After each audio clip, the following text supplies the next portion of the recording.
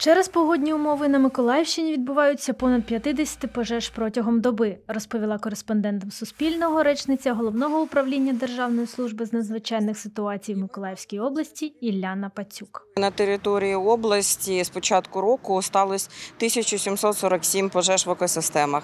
Це переважно горіли суха трава, очерет, чагарники, сміття на відкритих територіях, а також сміттєзвалища стихійні або ті, що мають е, статус саме сміттєзвалищ. Ілляна Пацюк зазначає, що переважно причинами пожеж стають необережне поводження з вогнем, а також підпали. Таких випадків приблизно 1600 займань. Інші 43 пожежі стались внаслідок бойових дій. Якщо говорити саме за серпень, наприклад, то понад 150 пожеж. Загальна площа взагалі пожеж в екосистемах це понад е, тисячу гектарів.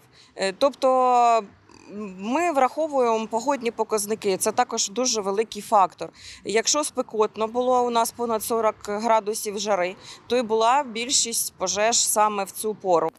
Провідна синоптикиня Миколаївського гідрометцентру Аліна Пилипенко зазначає, перевищення температур припало цього року на середину липня. Наразі температурні показники знизились до типових літніх 28-30 градусів.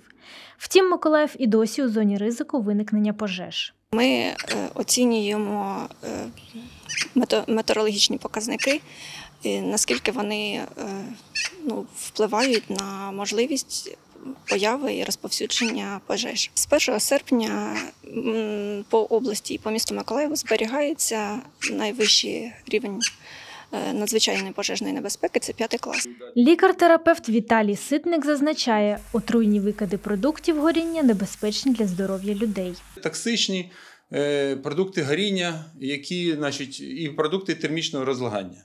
Туди входять діоксиди, фурани, парнікові гази і так далі. І так далі.